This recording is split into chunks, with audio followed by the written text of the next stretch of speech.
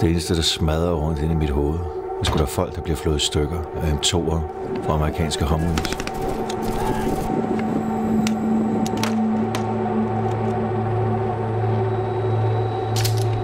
Det eneste, jeg hører, er fucking dødsmetal, der brager ud fra vores konvojer. Jeg mærker stadig raketterne, der regner ned over mig. Det stopper ikke.